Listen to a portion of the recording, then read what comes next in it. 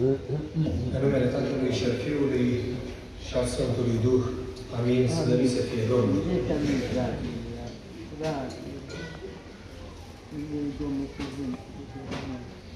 Mă rugam Domnului și ziceam, Doamne, ai milă de mine să nu fiu o scăpare de credința fraților care s-au sfătuit să mă pună la cuvânt. Mă rog la Dumnezeu și am cerut mila Lui că parcă de la adunarea care a avut loc în Banat a plecat puțin tulburat. Și a rugat în duminica trecută la București pe frații, mergeți acasă și ascultați odată și încă o dată predica Părintelui Profesor Vasile Micop. Aseară am început să cutrăbui și să caut și pe internet, și pe cărți. Dacă n-am găsit și cărarea, și dreptarul, și istoria, am luat tot la rând, ce am putut. Și pe internet, și pe YouTube. Și mi-a venit un gând. Zic, hai să văd ce a fost anul trecut la noapte. Că eu n-am ajuns. Și m-am uitat peste adunare, o oră, o oră, și, și am derulat iar tot până la Părintele Profesor. Și spunea Sfinția sa cu trimitere în Corinteni că nașterea din nou e o taină. Și frații zicea Sfinția lui, s-o strâns anul acesta la Matca, nu neapărat să vorbească despre nașterea din nou, ci să se adâncească în această taină a nașterii din nou. Și a zis, da, asta e un cuvânt minunat. Au fost de curând copiii bolnavi, au avut febră. Știu că te-a spus eu vreo 4-5 zile lui Fimiu, nu, dacă nu poți să faci asta, că ai febră. El îmi zicea că nu are febră. Mă, dar n-ai voie, uite, uite așa, uite așa, ești bolnav, puneam mânuța lui la frunte. El zicea că nu are febră. La Evanghelia care va fi duminica viitoare cu orbul, Părintele Teofil Corian povestește din copilăria lui la fel, ceva asemănător. Îi spuneau părinții, mă, nu poți merge acolo, că tu ești orb. Și zicea, nu sunt orb. Și au scurat ani de zile până să înțeleagă că e orb. Acum, cercetându-ne fiecare dintre noi, ce o să zice? Să născut din nou. Că sunt la oastea Domnului, sunt cu frații, țin post miercurea și vinerea, merg duminica la biserică, stau și la vecernie chiar. Am botezul ortodox, am legământ, poate chiar în oastea Domnului. Deci să născut din nou, pot să spun, nu? Raportându-mă și întărit fiind de cuvintele Părintelui Profesor, aș fi puțin îndoieli. Și vă vorbește cineva care, contrar fratelui mai tânăr, Timotei. a trecut pe acolo. Pe unde frăția lui a trecut. Fratele de înaintea frăților voastre a trecut. Nu știu ce mărturie să vă dau să mă credeți. Dar vă spun că ce ați văzut în scenetă frățiile voastre și poate ați lăcrimat. E așa ca un copil la sânul mamei. Prea puțin. E prea puțin, vă spun eu. Eu vă pot spune că au fost momente când m-am întins să împaș și să învârtea camera cu mine de beat ce eram. Și pentru că sunt crescut în oastea Domnului și ce mă rugam? Așa, beat. Și am, Doamne, să nu mor în noaptea asta. Eu auzisem că au murit oameni înnecați cu vomă de la băutură. Și mă rugam și am zis, Doamne, nu mă lua în seara asta. Și mă adormeam plângând și mă rugam, Doamne, nu mă lua în seara asta. Te rog frumos, mai dă-mi o șansă. Nu știu cât dura. Poate zile sau săptămâni. Și iar mă bătam și iar mă rugam. Și cu mine se rugau mulți. Și am amintit asta pentru că știu că sunt tineri și poate frați care încă beau.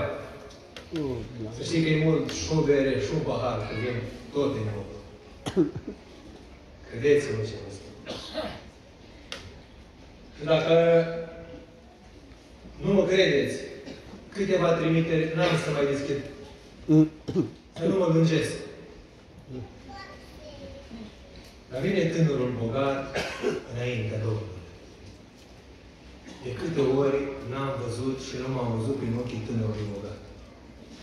Totuși Domnul Iisus îl privește cu dragoste și nu-i spune direct, mă omule, dacă vrei să fii desăvârșit. E ușor asta. Să spui cuvintele astea e ușor. Totuși Domnul Iisus se lea cum? Treptat și ușor. Bă, știi poruncile. Eu la punctul acesta am oprit un pic și am zis Cred că oastră Domnului s-a întâmplat ceva. Cel puțin cu tinerii sau cu mine s-a întâmplat ceva pentru că vine oastră Domnului să se pune Biblia, te întreabă dacă ești născut din nou sau dacă l-ai cunoscut pe Domnul și repede pui un legământ. Dar sar niște drepte. Și vine oastră Domnului gârbov, nedespătimit. Și intri cu păcatele tale și cu problemele tale și poți să pui legământ în oastră Domnului. Și poți să vorbești la microfon și să duci la orgă. Și să faci mărturii. Spunea Părintele Profesor, nu o să sperie dracu. Stai liniștit. Și tânărul îi spune Hristos, mă știi poruncile. Nu. Asta m-a dus cu mintea că în apropierea omului de Dumnezeu sunt niște etape. E ușor a pune Biblia în mână, că ea citește. Să știți că de curând am luat o multe Biblie. Am dat de bani și hai să iau Biblie, să fac Biblie. Și un coleg la muncă și ce mi-a zis? Mm-mm. Bă, da, Isaac atâtea femei a avut și surori și sclavele lor, avea copii cu toate ce a fost acolo. Și a zis, nu poți da Biblia chiar oricui. Mai ales cu eu, dar stai lângă el și crește-l cu tine și ia la adunare și roagă-te pentru el și postește pentru el, că ai dat o Biblie. Spuneau frații, ce e aici? Viață. E ușor să faci Biblie. Mi-a dat seama că prea ușor. Și am venit în oastă Domnului Sărin niște etape. Și am venit nedespătimiți. Și după ce vii nedespătimit și nemuncit, începe o nouă etapă a vieții tale care Părintele numesc luminarea minții. Și începi să zidești un pământ gol fără ce? Fără temelie. Mulți din frățiile voastre ați făcut casă și ați lucrat în construcții. Dacă ai pus zidul pe pământ direct, fără temelie, îmi pare rău. Dar primul vânt e praf. Dar și dacă te apuci de o astăpat și faci o temelie adâncă și te lupți cu despătimirea ta, pas cu pas și încet, și nu mai zidești. Și nu mai vii la adunare și m-am născut din nou. Sunt un om nou în Hristos. Slăvit să fie Domnul, dar nu mai zidești. Și nu mai vii la adunare și nu mai vii la biserică și civic, moral, ești un om frumos și bine crescut. Mă ierți. Ce faci cu temelia? Îl faci contract cu cei care vin cu acoperișul. Când vine Duhul Sfânt cu acoperișul, când Dumnezeu ia unde să ți-l pună? Pe ce? Pe temelie? Că n-ai ziduri. Și dacă n-ai ziduri, ce să faci cu temelia? Și când te apuci de temelie, să spunea în voastră, Domnul spunea fratele Traian, o femeie trece prin grele dureri. Grele dureri. Noi, poate, frații, băieții, bărbații, nu știu, că n-am suportat. Dacă te lupți cu patimile tale, când începi un război al patimilor tale, fraților, a spus o vreme, cum am auzit într-o conferință a unui părinte morar, ori mor eu, ori moare patima. Iar m-am îmbrătat. Și asta nu ține. Când nu ținea, și zis, hai să rog pe Dumnezeu. Hai să mă rog cu mama și cu tata și cu duhovnicul și cu frații ca să scap de alcool. Și am luat-o pas cu pas. Și am scăpat. Dar la masă mai mergea câte o bere și un pahar de vin. Păi mai bine ție. Un pahar de vin ce rău? Și cu atâtea legăminte legat la cap și ce a Hristos. Un tată bun și care te iubește, uite și-a scăpat cumpătul și a scăpat o palmă. Și mi-a dat pe Măriuca. Și în 8 la rând am cucit așa am zis, Doamne, ce palmă negră. Și mergeam între frați și vorbeam cuvântul Domnului. Mm. Și la masa mea era și paharul să mm. Și abia atunci am putut să zic lui Dumnezeu, slavă ție, Doamne, că m-ai ajutat. Asta e una. Câteva parte mi pasă peste fiecare dintre noi.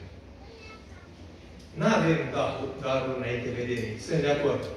Dar haideți să facem, să mimăm asta. Să ne privim unul pe altul și deasupra creștetului nostru să fie din ce?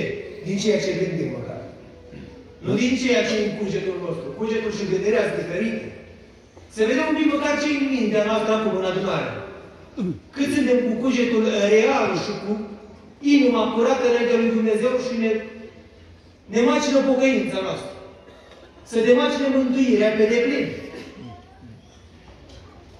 Să demacină asta spunea Sfântul Siluan, că din Sfântul Siluan nu s-a zis nimic și îmi permit să zic. Odată ce te-ai intrat în pocăință, nu te mai interesează nimic din jurul tău. Nimic, pentru că tine să te afunzi în Hristos. Atât.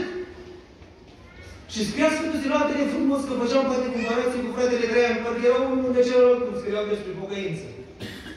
Nu mai poți să te lipești de nimic. Că-i mamă, că-i tată, că-i frate, că-i soră. Am mai spus-o de atâtea ori. De atâtea ori și am să repet. Să împlinesc cuvintele Domnului și sunt în casele fraților ostași. Doi contra la trei și trei contra la doi. De oameni crescuți în oaste Domnului. Și spunea Părintele Bisecar la Dorou ce înseamnă asta. Să întâlnesc trei și unul se duce în lume, unul se duce în protestant și altul merge la oaste Domnului. Și nu mai e unire. Pentru că au intrat cum? Cu tolba plin. O venit în Biserica Domnului aducând de afară altceva. Continuare în biserică citeam undeva să numeau catehumeni. Că nu erai botezat, cei chemați ieșiți. Așa se spune. Și dacă nu aveai botezul, după prima parte a liturgiei, ieșeai pe afară, unde citeam eu, au fost oameni care l-au ascultat. Și când se cânta trupul lui Hristos primit și ce spuneau? Fac canibalism ăștia în biserică. Îl mănâncă pe unul. Astea sunt mărturii din primele veacuri, credeți-mă. Și după ce te întorc într-o școală un an, doi, trei, cinci, de pocăință, și cel care era numit și devenea nașul celui botezat, abia atunci se puteau boteza. Aia era nașterea de nou real. Totuși am să deschid poate ca o piatră de temelie. Să nu vorbesc de la mine. În evrei, sunt sigur că știți. În epistola după evrei, la capitolul 6, haideți să ascultăm cu atenție ce spune Sfântul Apostol Pavel. Auziți? De aceea lăsăm cuvântul de început despre Hristos. Cuvântul de început despre Hristos. Să ne ridicăm spre ceea ce este cum? Dacă vrei să fii desăvârșit. Auzi? N-ai voie să fii în oastea Domnului și să nu-ți dorești măcar desăvârșire. Să lupți pentru desăvârșire. N-ai voie. Dacă ești în oastea Domnului și nu-ți dorești asta, știi ce ești? Exact vai luat de vânt. O meduză care se duce așa după valuri, în stânga și în dreapta. N-ai voie să nu-ți dorești desăvârșire. N-ai voie. Asta e prima poruncă a unui om născut din nou. Își dorește pe deplin desăvârșirea. Și pentru asta să luptă și leapă de tot ce îl înconjoară pentru desăvârșirea lui. Fără să mai punem din nou temelia învățăturii despre pocăința, de faptele moarte și despre credința în Dumnezeu. Și de multe ori. Pentru oameni născuți din nou, e nevoie să amintim asta. Despre pocăință și despre faptele moarte. Și în versetul următor, a învățătorii au zis despre botezuri, despre punerea mâinilor, despre învierea morților, despre judecata veșnică. Îi botezul nașterea din nou, nu îi botezul. Să mă spovedesc, mă iartă Părintele sau nu mă iartă? Are Părintele har prin punerea mâinilor sau nu are? Și discuțiile astea unde duce? Ce dovadă dă că ești născut din nou? E mult până acolo. Haideți să ne venim în fire, consider ca o mărturie că e mult. Avem mult de lucru. Și nașterea din nou, dacă e o taină și nu se poate spune poate ca informație, sigur se vede ca împlinire. Am dat pe YouTube azi noapte după toate predicile protestante de acolo mai jos, la o nuntă prin 81, fratele Traian. Clic. Și am început să ascult. Vă mărturisesc că nu prea am înțeles. După vreo 15 minute, știți ce s-a auzit acolo? Doar șuroiul de lacrimi de pe fața fraților. Atât s-a auzit. Și vreo 15 minute fratele Traian povestește despre slavă Tatălui și Fiului și Sfântului Duh. Cum făcea Tatăl și mama lui. și la muncă, și la coasă, și la fuior, spunea slavă Tatălui și Fiului și Sfântului Duh. Și fratele drag, vreo 10-15 minute numai despre asta spune. Dar nu prea se înțelege că adunarea era în lacrimi. Ce spunea fratele Crean? Vorbele îl făceau pe frate să plângă? Sau prezența unui om născut din nou în Dumnezeu? Un om cu greutate. Un om prin care vorbea Duhul Sfânt. Și care Duhul Sfânt a făcut un om nou și un om viu. Mai sus de versetele pe care le-am citit, în capitolul 5, auziți, Căci voi care de multă vreme s-ar cuvenit să fiți învățători, aveți iarăși trebuință ca cineva să învețe cele din începuturi ale cuvintelor lui Dumnezeu și ați ajuns să aveți nevoie de lapte, nu de hrană tare. Pentru că oricine se rănește cu lapte este nepriceput în cuvântul dreptății de vreme ce este prunc. S-ar putea să fii născut din nou, să ai temelie puternică, să ai și ziduri puternice. Dar în scara Sfântului Ascărarul sunt multe drepte. Sunt 30 și avea în ultimele țafe de săvârșire. Ce faci cu clădirea și cu acoperișul dacă n-ai ferestre și ușă? Vine diavolul? Vine. Și tu te-ai întors de la adunare, te băfești. Băfești cântarea, cuvântul, pe fratele sau pe sora. Că n-ai ferestre și zăvoare puternice la ușă, mai. Și poate să se întâmple asta, fratele.